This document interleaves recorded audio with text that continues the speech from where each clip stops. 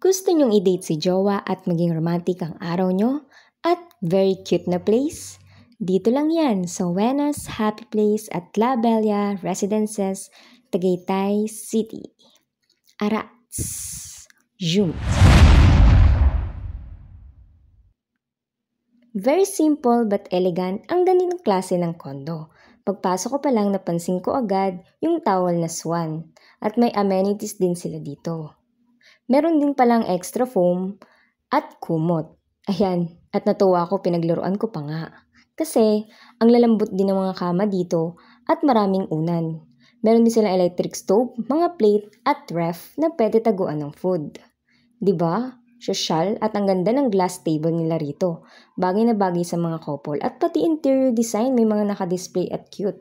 Dito nga pala yung CR nila at may salamin pa. Pak! Heated shower na din at may bath soap pa. Hehe. Hi love! May aircon at orasan para alam nyo ang checkout time nyo. Charis lang.